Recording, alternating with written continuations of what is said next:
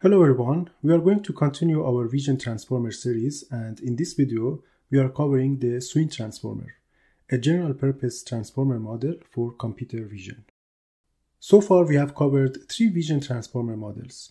First we started with the original VIT which splits the input image to a sequence of 16 by 16 patches. The vanilla VIT works well when it is trained on very large datasets but on mid-sized datasets, its performance is lower than CNN models. After that, we cover two variants called DeiT and tokens to tokens VIT that their objective was to make VIT work well even when it is trained on mid-sized datasets. In this video, we cover Swin Transformer, which tries to build a general purpose backbone for computer vision. This paper recognizes the challenges for using transformers in computer vision. The first challenge is that visual tokens vary significantly in scale, which means that when you scale an image, the visual tokens usually change a lot. Therefore, it is necessary to build multi-scale representations. And the second challenge is related to the computational complexity of attention mechanism, especially for high-resolution images. Therefore, Swin Transformer addresses these challenges with these two ideas. First, building a hierarchical representations using transformers, and secondly, a shifted window-based self-attention. First, let's discuss the computational complexity of vision transformers. Given this input image, we split the image into a sequence of n patches according to the vanilla VIT. Then Vanilla VIT uses global attention, which has quadratic computational and memory complexity for computing the attention scores using multi-head self-attention. One approach to reduce the computational complexity is to replace global attention with window-based local attention. In that case, the MSA is only performed within each window as shown in the right. Using this window-based self-attention, the computational complexity is reduced to linear with respect to the number of tokens n. However, the drawback is that now we only consider the interactions within local windows. So this approach cannot model relationships of tokens across different windows, and thereby the modeling power is reduced. To resolve this limitation of window-based attention, the authors combine window-based attention with a shifted window attention in consecutive layers. The shifted window provides some overlap between the regular windows that are not shifted in the preceding layer.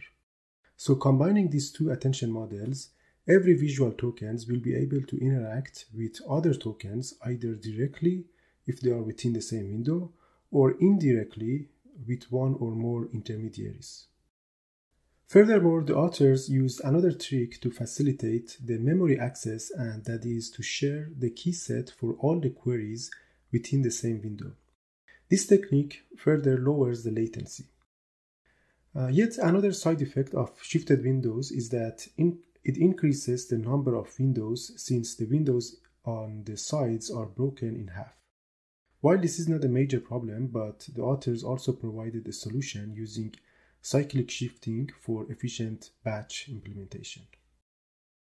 Now moving to the main building block of the model architecture, which is a Swin transformer block composed of two transformer layers.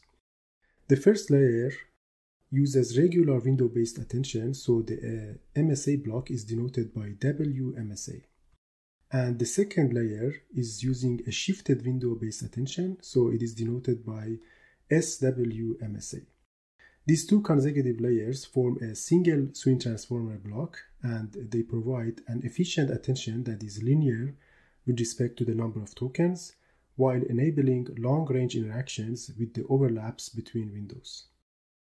Moving on to the second idea of the paper to build a hierarchical multi-scale feature representations. This is achieved by a patch merging layer that acts as a downsampling layer for reducing the sequence length. Patch merging is performed in two steps. First, for each local neighborhood of size 2 by 2 tokens, we concatenate the visual tokens, so we start with a tensor of size 2 by 2 by C, and after concatenation, we get a tensor of size 4C. Then we apply a linear layer to reduce the size from 4C to 2C, that is in step 2. We repeat these two steps for all non-overlapping neighbors as shown here. So if the input size has uh, h by w by c, we get an output of size h over 2 w over 2 times 2c. Here is the architecture of Swin transformer. Starting with the input image of size h by w by 3, first we split that into 2 by 2 patches which are flattened and used directly as visual tokens. Then these tokens are fed to a stack of Swin transformer blocks composed in uh, four stages. In the first stage, the number of tokens and the channel dimension is fixed. But from stage 2 onwards, we apply patch merging that reduces the number of tokens in half in each dimension and instead doubles the number of channels. So with this patch merging layer, we can design various architectures similar to what we used to do with CNN architectures.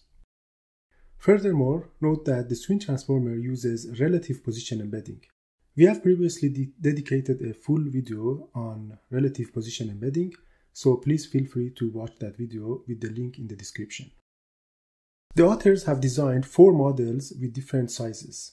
Swin T for tiny, Swin S for small, Swin B for base, and finally Swin L for large. The difference between these architectures is the number of channels C in the first layer and the number of Swin transformer blocks in stage 3. Note that the number of Swin transformer blocks in stage 1, 2, and 4 are always the same among different models. Now let's see the experiments conducted by the authors. Recall that the objective of this paper is to build a general purpose backbone for vision problems. So the authors have applied the model for solving classification, object detection, as well as semantic segmentation and they have compared the performance of Swin Transformer with CNNs as well as other VIT-based models that we covered in previous videos. For image classification, they have conducted two sets of experiments. In the first set, they train models from scratch on ImageNet 1K. But in the second set of experiments, they pre-train models on a larger ImageNet 22000 dataset which has 22,000 classes and 14.2 million samples. This table shows the results of the first experiment. As we have previously discussed, the vanilla VIT does not do well on mid-sized datasets. So that's why it shows the worst performance in this table. But as you can see, Swin Transformer shows comparable performance to ConvNet models and even slightly better than DeiT models that have similar model size. The next experiment is object detection for which they use COCO 2017 dataset. Table A compares the performance of Swin Transformer with ResNet 50 using different de detection frameworks. And as you can see, Swin Transformer shows performance gains using all detection methods. In Table B, the detection framework is fixed to the framework in MaskRCNN, and instead comparing different backbones like DeiT, ResNext, and Swin models. In this case also, Swin T and Swin B outperform their counterparts with similar model sizes. And the final experiment is on semantic segmentation using ADE20K dataset, comparing ConvNet-based models and other transformer models using different methods. For Swin models, they used UPerNet framework and the results show that Swin L model pre-trained on ImageNet 22K outperforms the previous best model, SETR, in both validation and test score. So in this video, we covered Swin Transformer as a general purpose backbone for computer vision. This is a powerful model and it's used as the backbone in the modern object detection models such as the grounding DINO, which we'll cover in future. So I hope that you enjoyed this video and thanks for watching.